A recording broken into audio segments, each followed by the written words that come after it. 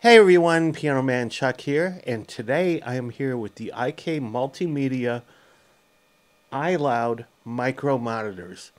Now these things, when I first heard this, this blew me away. I mean, I've watched all the reviews, I've heard all the good things about it, and I thought, okay, they're pretty good. And it had bass like you could just about feel that kind of bass. Now, for these micro monitors that'll fit anywhere, anywhere, if you got a studio that's really small and you can't even put some decent monitors in there, this will blow away some decent monitors.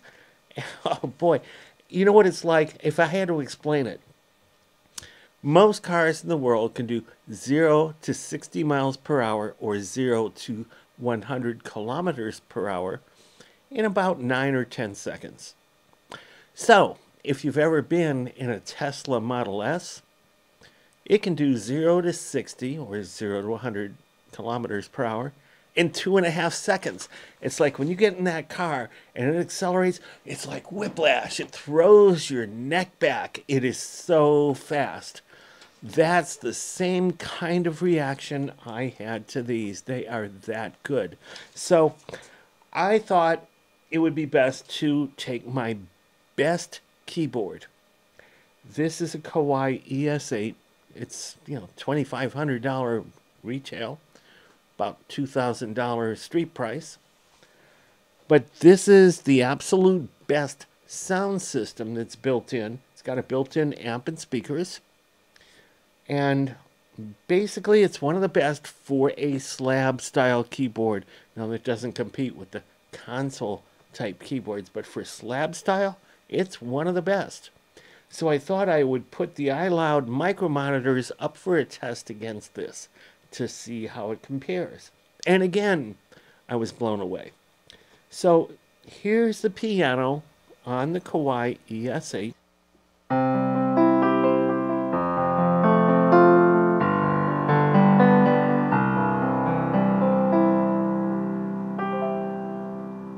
Sounds pretty good, right? So let's hear that again with the iLoud micromonitors.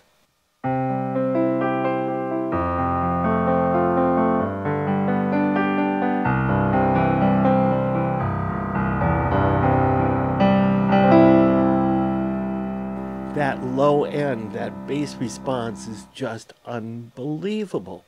So let's try that again. Here we go. Just the Kawai ES8.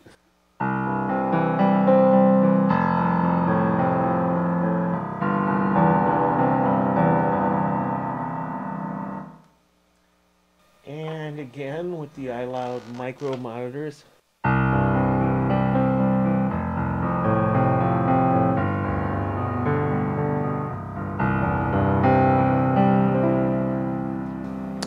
So let's take that a step further and let's go ahead and try one of the built-in rhythms over here.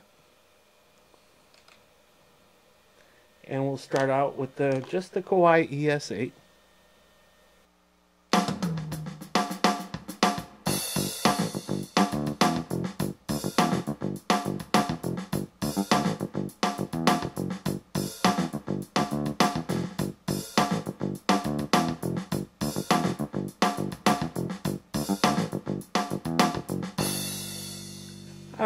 So let's try the same thing again with the micromonitors. Here we go.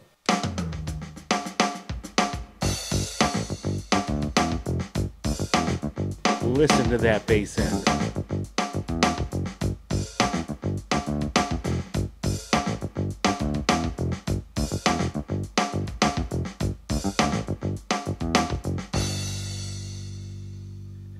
What a difference. And I'm using a pair of um, Shure SM57s, and I've placed it such that it's an equal distance from the micro monitors and the built-in monitors here. So, and there's no tweaking of any kind, regardless of which one I'm using. So, let's try that again. Uh, we've got a demo mode here we can try.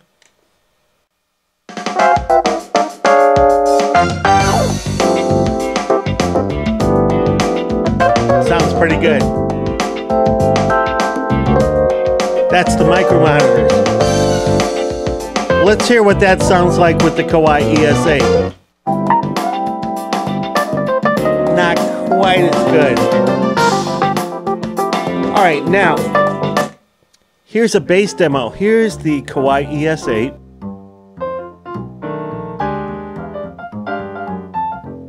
Not bad, right?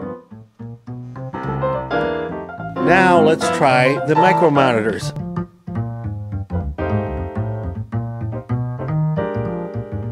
Much more pronounced bass.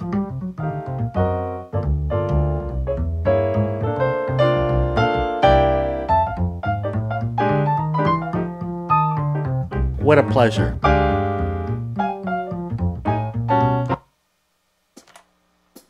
Here we go, Kawai ES8.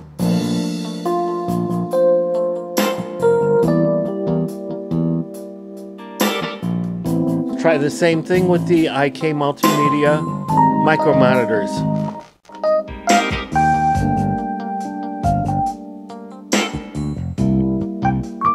So I think you can hear the difference between the two.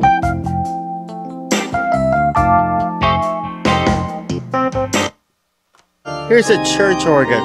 This is on the Kawai.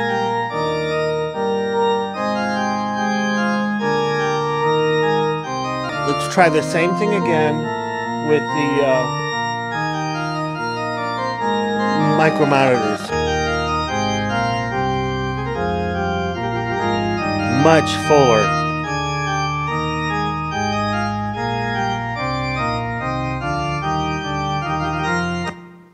Okay, so I got a rhythm section here. Let's try that out too. And we'll start out with just the Kawai.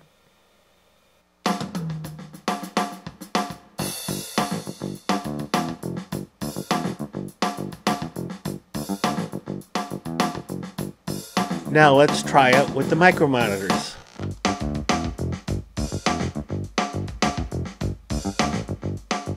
Much, much fuller.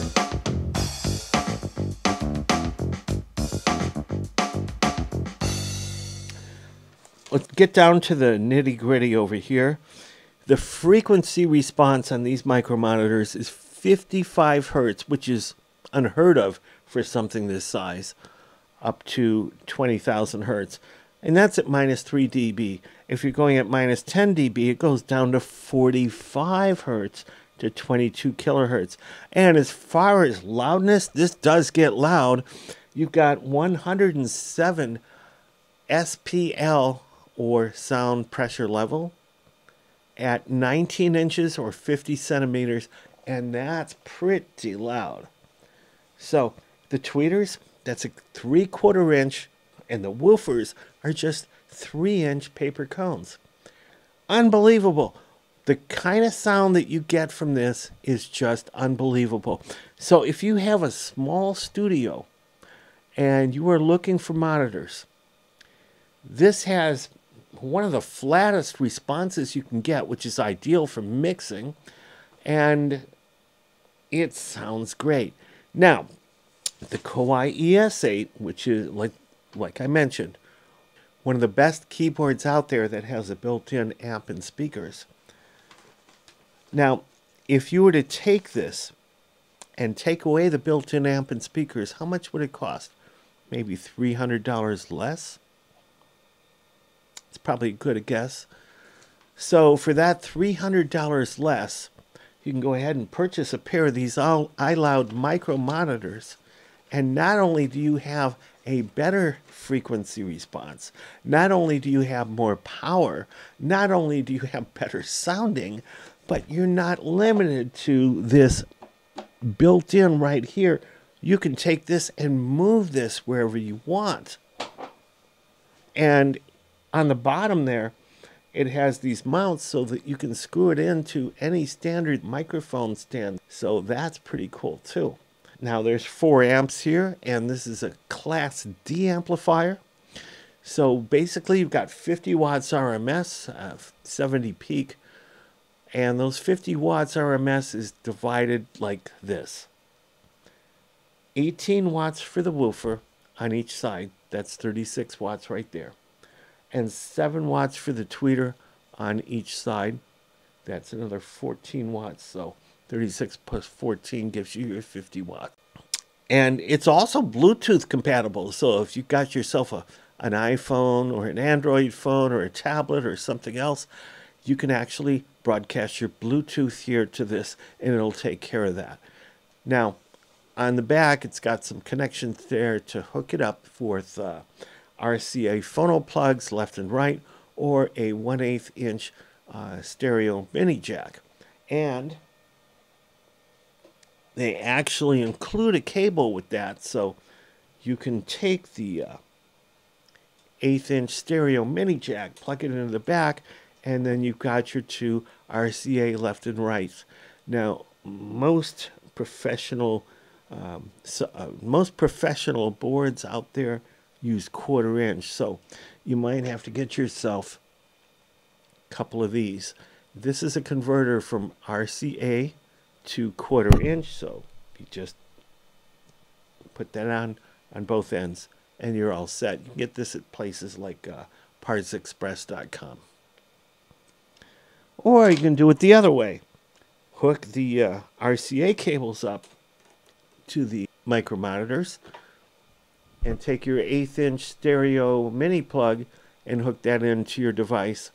Or they have adapters so that you can convert this to your standard quarter inch stereo stuff so you can put it in the headphones of a lot of equipment today.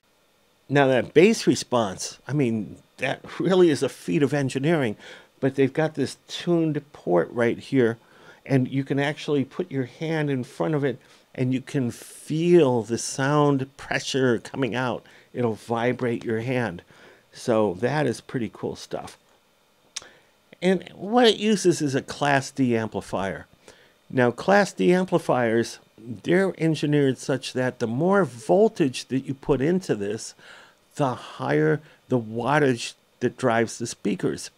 So, unlike most other things that have um, a power supply between your AC mains and the units itself, there's a little brick there.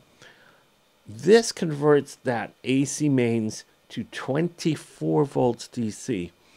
That's a lot of voltage. Most equipment uses 9 or 12 volts. Occasionally you'll see 15, but this is 24 because more voltage in a Class D amplifier results in more wattage to your speakers, which means louder for you.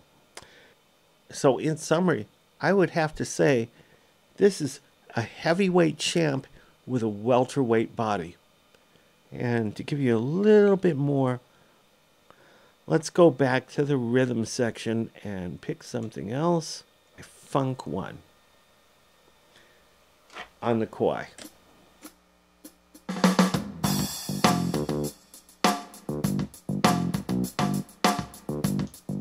Sounds pretty good, right? Now let's try it with the uh, micro monitors.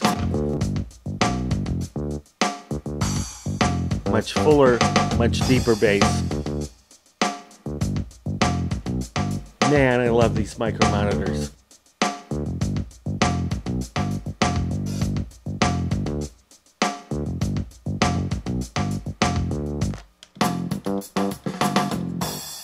Here's a different one.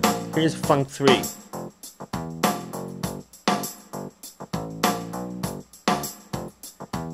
Try the same thing again the micro monitors.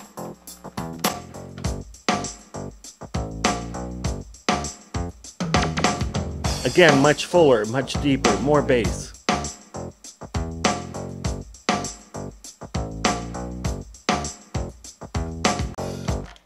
Let's go a little bit further here and let's try it with something else. This is the Kawai. Try it with the micro monitors.